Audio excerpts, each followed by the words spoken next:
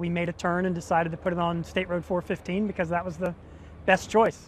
A plane is forced to make an emergency landing on a Florida highway.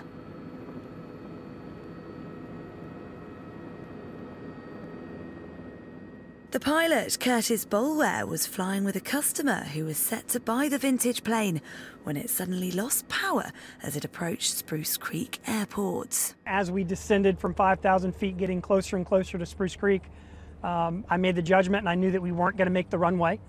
So instead of continuing on to Spruce Creek and ended up in the woods or in the trees uh, where we probably wouldn't make it, uh, we made a turn and decided to put it on State Road 415 because that was the best choice. Despite the setback, shortly after the emergency landing, the plane was able to take off safely from the highway and fly to the airport to undergo further inspection.